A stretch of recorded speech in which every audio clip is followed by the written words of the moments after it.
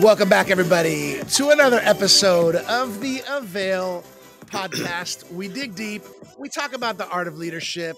We get we got our hand. We roll up our sleeves, get our hands dirty. Talk about the exciting world of leadership with amazing leaders. And uh, we have a leader who's back. Everybody, we have Pastor Chris Sonksen. He's back. We had him on an episode on Avail uh, a few months ago, and it's exciting because we're going to talk about a new book. I'm happy to be here, everybody. Virgil Sierra, lead pastor of Vertical Church, your host on Avail Podcast. Pastor Chris Sonksen, it's good to have you back on the Avail Podcast. How are you feeling? Oh man, I'm feeling great. Thank you so much for having me on the podcast today. Excited to uh, to hang out with you. Uh, and uh, I have no idea what I haven't figured out your hairstyle. All I know is you can pull it off, and I can't. I don't know what. It, this, hey, we, we all have we all have different giftings. You can pull. I it's have, fading in some places. That's because you have style. I have no style. You have style. oh Lord Jesus. My wife would be laughing right now, but thank you for. I, will take it. I'll take the compliment. Uh, Pastor Chris, can I just say something? I, I love leaders like you because here's what I here's what I see, and this is my take. This is my perspective, right? I see in you uh, a seasoned, experience, kind of like top notch lead leader but I see in you a leader who is hungry and desperate to help the next generation of leaders that's coming up and current leaders that are in the trenches. Would you would that does that resonate with you? Yeah, does. I appreciate you saying that. It's very kind of you. I uh, um, yeah, absolutely. Uh, I think you know I, I, tell leaders all the time, man. If you want to uh, the, key to everything isn't just adding leaders to the kingdom, it's multiplying leaders, multiplying their life, multiplying their impact, multiplying their influence, their ability. And for me, if I multiply a thousand leaders, it's more than I could ever do hmm. by myself. And so I love, I love adding values to leaders that are 20 years old and I love giving hope to a leader that's 60 years old and still wants to be effective for the kingdom. And it doesn't matter to me either yeah. way. Just uh, I just want to add value to, to leaders. Absolutely. I love that. I, I admire that about you. Before we jump into the book, which I got next to me here, if anybody who's watching the video, Traction: Five Proven Principles for Unstoppable Growth. I would love maybe just maybe just to do a quick uh, a quick uh, about you for the people who are leaning in maybe for the first time uh, regarding pastor, regarding some of the initiatives that you lead, like Church Boom. Yep. Can you share a little bit about that? Yeah, absolutely. So, yeah, I live in Southern California uh, and uh, married, two kids, two granddaughters. Uh, we are the founders of South Hills Church. Uh, we have 12 sites as the founder. I don't really do a lot of the day to day anymore, but I still am very involved in other ways. And then we also have Church Boom, Church Boom does two things: it's coach pastors and rescues uh, churches. And so we coach pastors, executive coach pastors. We offer executive coaching. We offer something called Church Boom University. We have a network that pastors can come, be a part of, be a tribe, learn, grow, develop. And then we rescue churches. So churches that are 20, 30, 40, 50 people that might face the threat of closing their doors. We rescue those churches uh, and try to try to get them back healthy again. So that's kind of the overview of where uh, of what we're doing these days, and then you know write some books and all that stuff. But primarily uh, in the church boom world, we coach pastors and rescue churches. I love that. I love that, and that's a that's a beautiful, beautiful uh, initiative. We've we've talked about that in the last episode. Um, I'm excited about this book. I'm excited about this new book. Yeah. Um, it's your most recent book. Yeah. Traction: Five Proven Principles for Unstoppable Growth. Come on, share with us. Why did you write this book? Where? How was it birthed? Why is it here? Well, actually, it it, it uniquely has a twofold purpose. One, um, it's a book by as it stands alone as a book of a resource for pastors and leaders it is has an extremely unique angle on it from that angle in that we take all the coaching lessons that we do in uh, the church boom world so coaching lessons on how to be mission critical how to run a staff meeting how to create volunteer recruitment how to create leadership pipelines how to increase generosity in your church all the different methods and different form, formulas that we use probably 35 40 of them we took all of them and we built it inside wow. of the church. And what we wow. did was is we took the five components of a train and then we took those five components and put them inside of a church and said, okay, now there's going to be one of five areas that are going to be an issue in your church if you're not feeling the momentum you want. And then we actually, in there, in that, under that component, we talk about all our different exercises. So it's a book to pastors, but what else is really cool is it also serves as the foundation to a coaching certification program uh, that we just launched. So if people go to churchboom.org, wow. you can uh, at churchboom.org you can learn how do I become a coach? How do I get certified? So that book, along with a lot of videos and a bunch of other stuff we added to it, becomes a coaching certification. So it's a book by itself, but it also is the book that's foundational to a coaching certification for pastors that feel like, man, I want to coach other pastors. Ooh, I like that. I didn't. Even, I didn't. I didn't even know that. I mean, I've been able to kind of read through a lot of a lot of the sections, and I'm excited to talk about it. Uh, and anybody anybody who's leaning in right now, if you're in any kind of leadership uh, in church, uh, if you have a heart for church leadership, if you have a pastor friend or if you pastor friends, if you are a pastor, you need to grab this book. You need to share it. You need, you might you maybe you might want to buy a few, do a small group, and give or gift it to some people. Yeah. Um, so so I, I love the the concept of you know, kind of those five areas, you know, of church and ministry. Um, yeah. As far as as far as growth, growth, right? Eh, obviously, you wrote it for this. Uh, where would you say is kind of kind of square one when when when somebody tells you, Pastor Chris, we're stuck. Um, I know there's mm-hmm. probably many places you could go, but where's one place where you say, okay, let's start here? Yeah, well, uh, one of the big areas, again, there's five components to a train. One of those components is the engine. So a train has five components. One of those components is the engine. Of course, it has fuels and tracks and cars and conductor, but it has the engine. We relate that to growth strategies. So an engine, a mm. train doesn't operate without an engine. It's not going to go anywhere. And a church doesn't right. operate without growth strategies. And so often, can't say every time, but often uh, when we're working with a church, um, we look at the growth strategy and say, how do you actually grow your church? And I think a lot of people put on, hey, we try to put on great services, we do outreaches, we pass out flyers, do all that stuff. No one's talking about like, okay, but how do you create an invite culture in your church? How do you get people? How does that become the culture of your church? And once those people get invited to the church, what's the speed of engagement by which they get locked into the church? Because when mm. they hmm. get locked into the church, they're 500 times more likely to stay in your church when they get locked in. And locked in or engaged is, you know, I join your church, your church. I come for two or three months. I sign up. I, I'm going to help out being a greeter. Now I'm engaged. So yep. we increase the amount of guest flow and then engage those people quicker. When we can do that, we can start to see momentum happen in the church. And that, to me, is one of the biggest missing links when we work with churches. Yeah, I agree with that. I agree with that. I think I think it's so easy. And and, and do you ever get this? Okay, and, and again, I'm a pastor too, and I think that that everything's important. But do you ever get like like a position from pastor church leaders, kind of like, well, the most important thing is the word of God. You know, the most yeah. important thing mm-hmm. is is you know the Holy Spirit's presence. Which which hey, we know that these are key elements, but it's kind of yeah. like undermining some of this stuff. Yeah.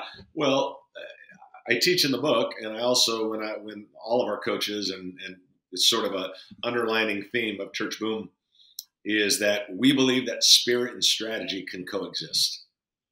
And that's a statement that we really lock onto. Like, absolutely, uh, the spirit and the strategy can coexist. And another way of looking at it is there's the God factor and the leadership factor. The God factor says we can't do anything without God, but the leadership factor says that God typically doesn't do anything without a leader. Uh, and so you got to have the spirit. Oh, yeah, gosh, of course. I mean, yeah, there's no doubt about that. But also there's strategy. You look throughout the Old Testament, hey, march around the wall seven times, strategy. Okay, line up the mm-hmm. people over here because we're going to eat, strategy. We're going to go out two by two, strategy. You know, there's always a strategy that goes with it. Spirit and strategy have to coexist, and so that, to me, is a is kind of a foundational concept uh, for churches uh, and for pastors to understand. Yeah, that's huge. I, I think as you as you're sharing, I, I think you know, it might sound to some kind of like, well, of course, but the truth is, I think it's good and important to hear this, and it's good to hear this from from seasoned and experienced pastors like yourself, because it's not saying that one is more important than the other or that one is unnecessary. It's kind of a, it's a, it's a both and. Yeah. And and and so here, so here's another question, and after that, I want I'll jump into some of the other, you know, yeah. aspects of the train, so to speak. But uh, is it of your opinion that that any church has the potential to grow? I mean, or you know, could there be somebody that says, "Hey, this is it. This is all. I, this is all we're called to do." You know, because this is this yeah. is what God called us to. Yeah, yeah. So um, I haven't really ran into that uh, in the sense of like. here, here's why I say it that way: is like I haven't ran into like someone saying, or church saying, or pastor saying, "We've maximized our potential." What I've mm-hmm. learned and what I've seen so far is this. I'll, I'll, let me back up and say this way.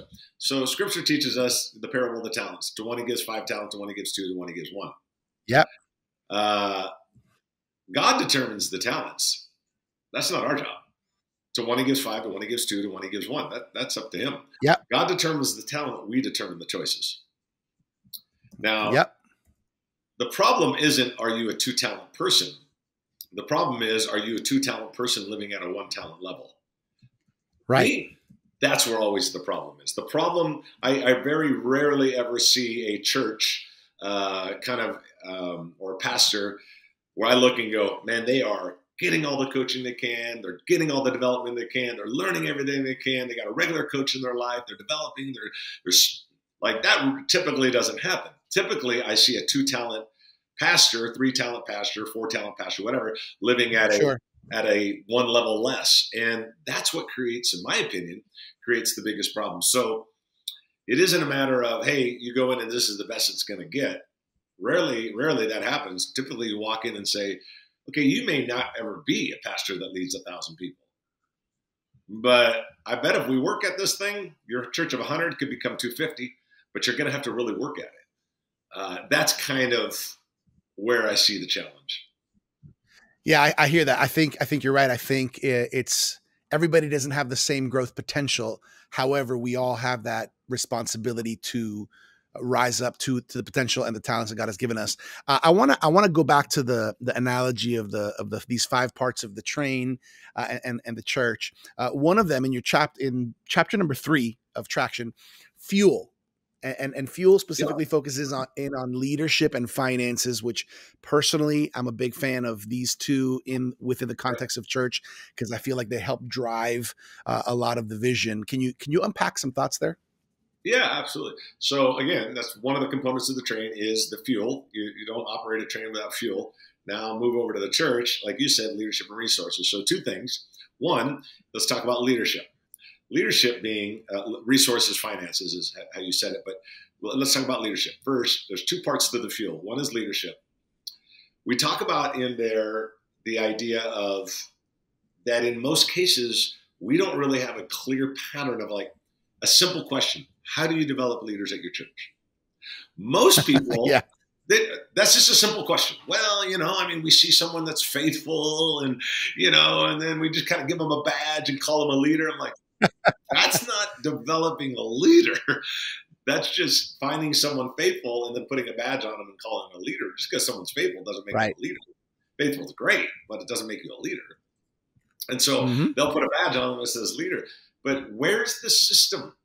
You know, where's the like, okay, first they come into the church and then they become a volunteer and then we start to apprentice them and we mentor them and then that takes six months and then they become a leader. Like where does where does the that happen. And so we talk about that throughout the chapter uh, of the leadership ladder. And that's a huge part of what we talk about both in the book and in our, our church boom coaching certification. Like you got to help churches develop a leadership. That's good. Leadership ladder. Like just answer, anybody listen to this podcast, just, and, and you're a pastor, answer the simple question, how do I become a leader in your church? If it's faithful or whatever, that's a problem because that's not the only issue. Okay often a pastor will say on that leadership topic, they'll say, well, you know, I, I, as a pastor, I'm the lead pastor speaking. I, as a pastor, I kind of see something in someone, spend a little time with them. What they're saying is they're intuitive. First, they don't have a system, but let's put that aside. Uh, I, I sure. know there's a pastor in Ohio, perfect example. There's a pastor in Ohio, I've got a big church. He's very intuitive. Like he can see someone and say, he just sees potential people. He'll start spending a little time with them and he brings them up. That's awesome. That's wonderful. But what I told him recently was, I said, Pastor, I said, you are naturally intuitive to raising up leaders. And he goes, Yeah, I've always been that way. I go, Here's the problem with intuitiveness it is never duplicatable. Intuitiveness isn't duplicatable. It's just right. So you're intuitive, but the rest of your team isn't. So you're the only one developing leaders at this big old church, and nobody else isn't. You have to create a system, a ladder. How do we develop leaders? That's the leadership side. Now we go over to the second side finances, re, I call it resources, finances, whatever. So you got leadership uh-huh. and money. Uh-huh. Okay, same thing. Let's talk about money. Here's what I always say about money slash resources. I always say mm-hmm. that the battle is won or lost in the resources. If you think about, okay. if you think about, uh, if you look at some of the old letters from the Civil War, uh, one letter being written to another, you know, general, another sergeant, whoever. Right it was cool. I, I saw this on the History Channel one time. One letter said, "We don't have to kill the enemy. All we have to do is cut off their resources, and we win the game." If they don't get water, we win. If they don't get ammunition, we win. We don't have to kill them, just cut off the resources. I think the enemy, our enemy, I think he knows the same thing that the battle I won is uh, lost in the resources. I don't have to destroy that mm-hmm. church. I just need to cut off the resources. I cut off the resources, I win the enemy is thinking. So the mm. battle is won or lost in the resources. So if we have a plan for our leadership, we also have to plan have a plan for our resources. And what I tell throughout the book, you'll you'll hit in there. It's like, how do you raise your tithing dollars? How do you set a generosity calendar for 12 months and say, okay, when are we going to talk about generosity? When are we going to do something we call the 90 day challenge? Challenge people to tithe for 90 days. It's this whole thing that we do a system. How do we how do we get people? When when do we teach on financial stewardship? When are we going to talk about tithing and giving? Do we know the different tiers? Like this this person, this kind of group of 100 or kind of tithing or above. This group is kind of medium. This group's kind of, and how do we raise those people up? So it's this entire system to think about how do we make sure we're generating enough resources to fuel the vision of the church? Because the battle for the vision, the battle for the church, the battle for the growth will always be won or lost in the resources. I love that. I love that analogy, and I think what you're saying is so true. Um, you know, I think I think when when you start to experience uh, some success, and, and I'd love to I'd love for you to speak to this because I know a lot of what you do is coaching, and there might be pastors uh, and leaders leaning in that might say, "We want some of that coaching." I, I I sense because I've experienced it when you begin to have a little success with some of the coaching you're getting, uh, when you start see some things click, you start to see some some light bulbs turn on personally and on your team. You start saying, "Okay, here." There's something. There's something in this book, traction. Pastor Chris knows something, and he's he's put he's putting it out there for us. Um, can you talk to to what you see when a church or pastor begins to get a little bit of momentum? You know, even the even the analogy of the train, right? Um, yeah. What happens? What, what happens, and, and and what does it look like to you? Yeah, I, well, I, I, think the extreme positive side of momentum is this, um, and uh, it's as simple as I think that hope and confidence arises. Uh, competence produces confidence. Competence produces confidence. So when you create competence in them. They start to learn things. They start to learn systems. They start to see a little bit of growth, even if it's, you know, hey, we were 200, now we're 210, 220, 250. There's a confidence yeah. that comes from the confidence. Yeah. Confidence comes from confidence. And now all of a sudden they feel like, man, I could do that. And they start getting hope. They start feeling like they can conquer. And man, when you have hope and you have confidence on your side and you have some strength on your side and some momentum on your side, you know, one thing I talk about there is it's not like some new thought, but when you when you have a train, I don't know if you ever stood next to a real train. I mean, they are massive. You know, yes. Like you look up and you're like, man, you just uh, you know, when you're in your car, you don't realize how big they are until you stand next to them. You just put a big old brick in front of a train and it can't go anywhere. But once it's going 60 miles an hour, it'll blast through a brick wall because it has momentum. Uh, mm-hmm. I think that's what momentum does for you. Momentum creates hope, and it creates confidence, and it creates strength. And when we see a pastor that's starting to work with us in all the churches that we work with across the nation, when they start getting momentum, hope rises, confidence rises. Um, and man, it just seems like, man, it just seems like they're a locomotive flying down the track and nothing's going to get in their way.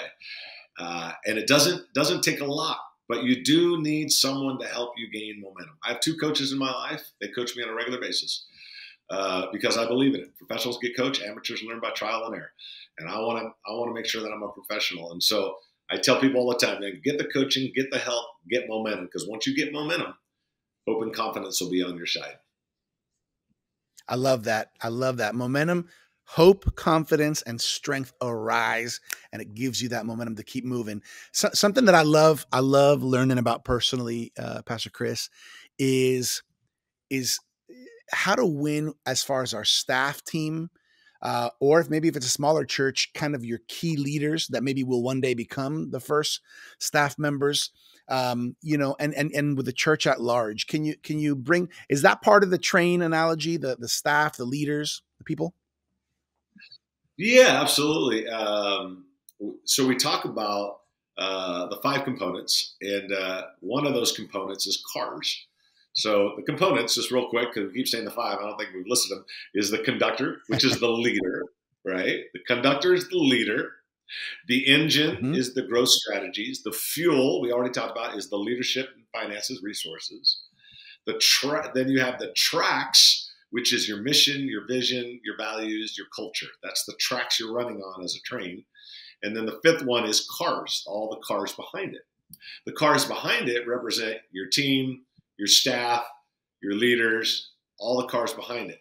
What's interesting is kind of like the uh, the book I wrote before, "Saving Your Church from Itself," which was you know about churches getting off uh, derailed or pastors getting derailed or leaders and how much damage it causes to be toxic. You have a train, you have a bunch of cars. Say there's hundred cars. If car number 18 gets derailed, everything after it is going to be disastrous.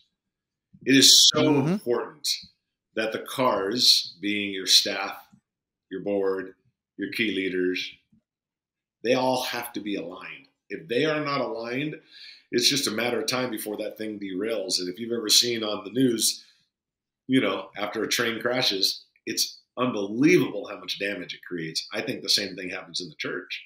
When we when we see some cars derail, i.e., staff, key leaders, the damage is tremendous. And so that's the fifth component of the train. The final component we talk about is making sure those cars are aligned because that's the cars can ruin all the momentum you have can be ruined when the cars aren't aligned. Yeah, that's good. I, would like to dig a little deeper here regarding regarding the cars of the train, right? The the the staff team, key leaders. Um, wh- where are some of the common pitfalls or the common areas that you've noticed as you've coached pastors and churches uh, where where where maybe it's it's a consistent area of struggle or challenge when it comes to the lead lead pastor or the lead team and those key players, right?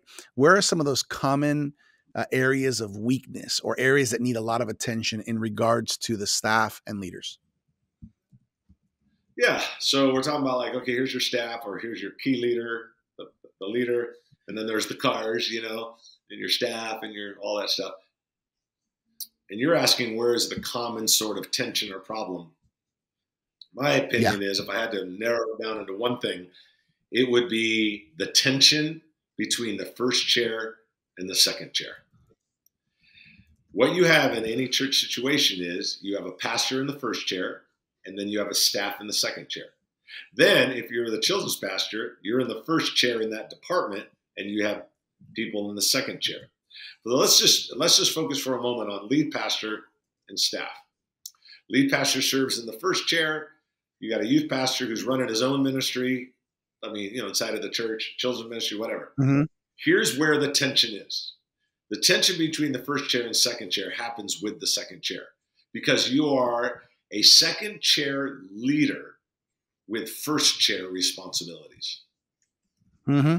Multi site Uh, hey, you know, you're you're say you're say I'm I'm running a multi-site. We're a multi. We have 12 campuses, and you're one of the campus pastors. You got to run your own campus, run your own thing, build your own thing. So you have an incredible amount of first chair responsibilities, yeah. But you're in the second chair. That's right. where the tension arrives. And then that tension starts to show up like this. You have to manage the tension between that second chair leader has to manage the tension between submission and authority at the same time. Yeah. They have to manage the their strength and the pastor weakness at the same time. Their passion and the pastor's direction at the same time. All of that has to be being managed in the second chair. And if they don't manage it well in their heart, they end up starting to become toxic. When they start becoming a little toxic, they start to derail. When it derails, that's where the problem shows up. It's the tension between the first and second chair. So, from your experience, I love what you're sharing. What you're sharing right now is huge. Somebody's hearing this and saying, "Hallelujah! The angels are speaking. I'm I'm seeing it." How do you begin to relieve some of that tension? Yeah. I, well, I think you have to. I think you have to answer it with this with this answer. I don't think it's a problem to solve. I think it's a tension to manage. Okay. Think about that statement for a moment. I don't think it's a problem to solve. There are some things that are problems to solve. You've got to solve that problem. Right. So that it goes away mm-hmm. You want to solve it so it doesn't go, so it goes away. Some things are a problem to solve. Some things are only a tension to manage. That tension is going to never go away, ever. And so it isn't really about solving the problem. It's about managing the tension. And the way That's that good. you manage it is you've got to, I think, from the first chair leader, you've got to recognize is it showing up in one of my leaders' hearts? Am I starting to notice that they're getting a little toxic? Am I noticing they're getting derailed? Am I noticing that they come with more problems than solutions? Am I noticing that when they speak, people feed them and it kind of feeds their ego a little too much? Am I noticing mm-hmm. that um, they've shifted from asking great questions to having a questioning spirit? So, as a lead pastor, mm-hmm. recognize is that happening in that second second chair leader? Then, as the second chair leader, youth pastor, worship pastor, whatever, they've got to manage the tension on this side and say, I got to guard my heart. It was Jesus that said to Peter about the disciples. He said, Peter, be careful. This, the enemy is sifting among you. Mm. We have to understand that phrase. The enemy is sifting, six words. The enemy is sifting among you. I think the enemy would look at your church, because I know you're a pastor, look at all of the, yeah. the and say, hey, staff, the enemy is sifting among you. He's looking for right. one person that's got a little crack in their heart that he can get in there, start getting hold of it, and, and then ultimately derail the entire train. That's what he's looking for. But so to say there's a problem to solve, I don't know if it's really a problem to solve. I know it definitely is attention to manage. Woo! Drop the mic.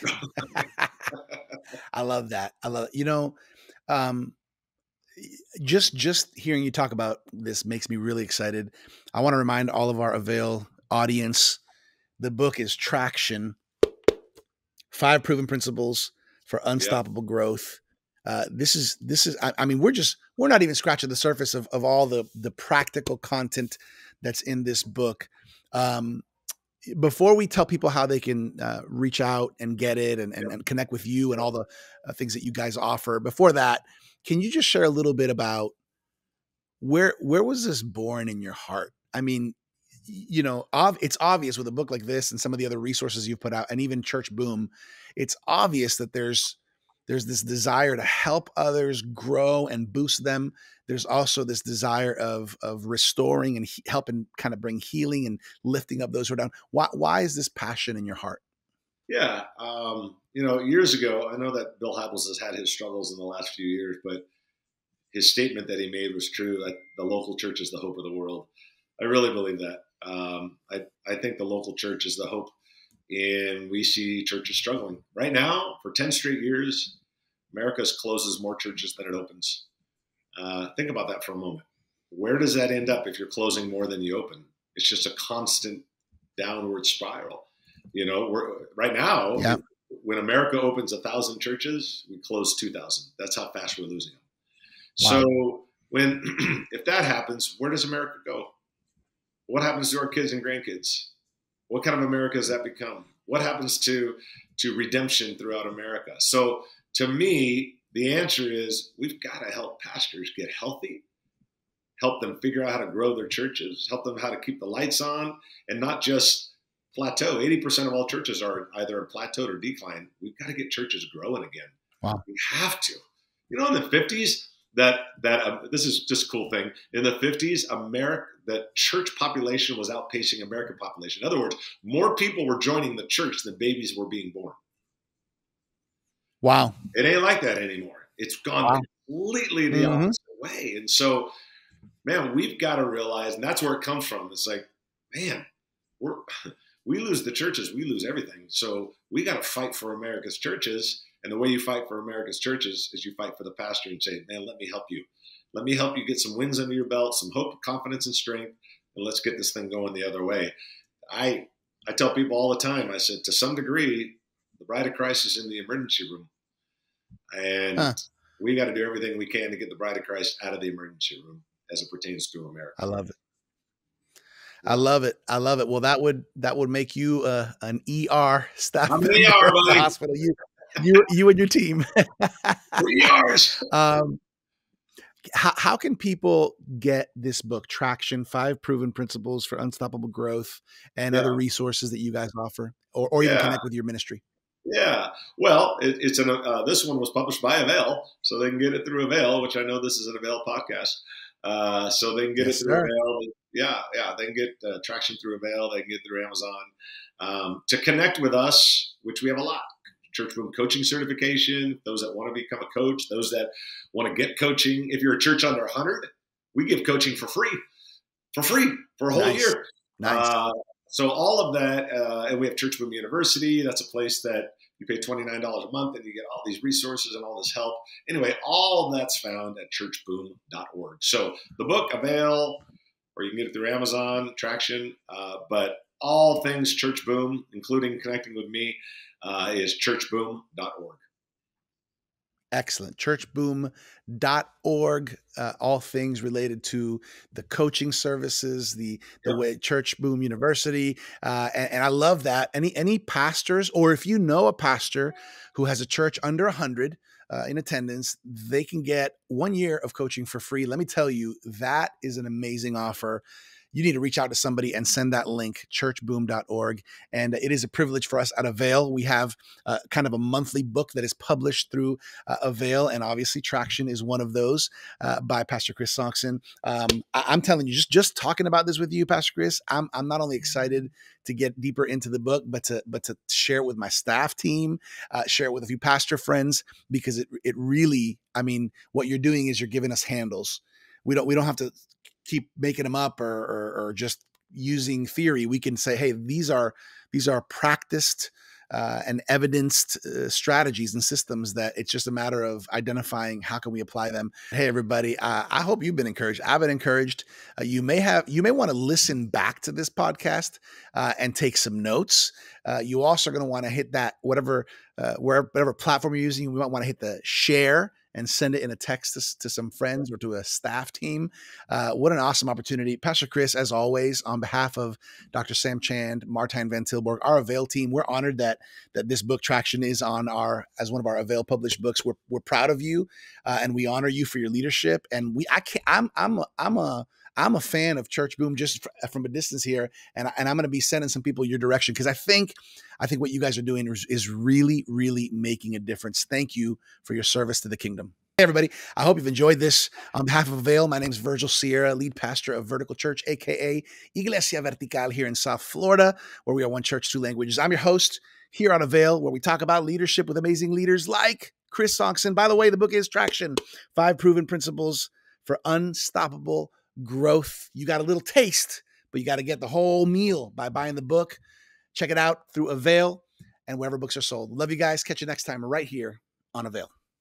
Thank you for joining us for this episode of the Avail podcast with our guest, Chris Sonksen. You can get Chris's book, Traction, at theartofleadership.com and find out about pastor coaching and church rescue by going to churchboom.org. For more leadership resources, check us out at theartofleadership.com and make sure to claim your free trial subscription of the Avail Journal at availjournal.com. As always, I'm your Avail podcast host, Virgil Sierra. Muchas gracias. Thank you for connecting with us to learn the art of leadership here at the Avail Podcast.